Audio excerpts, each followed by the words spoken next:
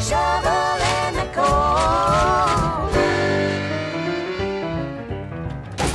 Chug, chug, chug, chug, chug, chug, chug, chug, chug, chug, chug, chug, chug, chug, chug, over the mountains, up and around.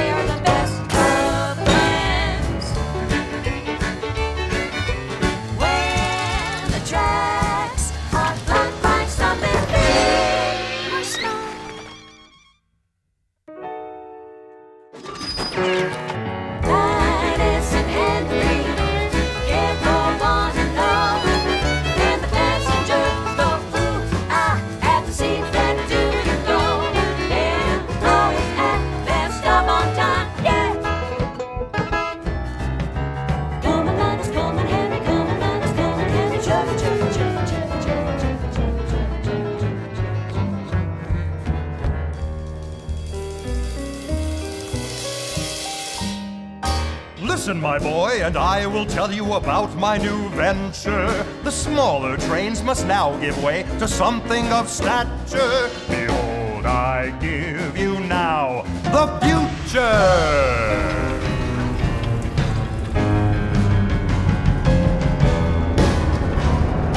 Presenting Samson.